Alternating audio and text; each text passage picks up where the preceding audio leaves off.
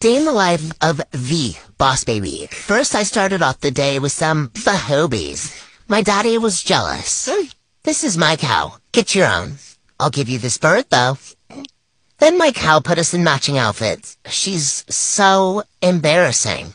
Today was my two-month-old birthday, and my cow took a hundred pictures of me. I better be getting paid for this.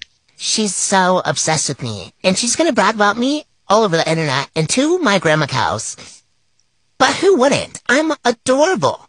Huh. Being a model for two months is exhausting. Then my mommy's milk van propped me up so I could see the fan.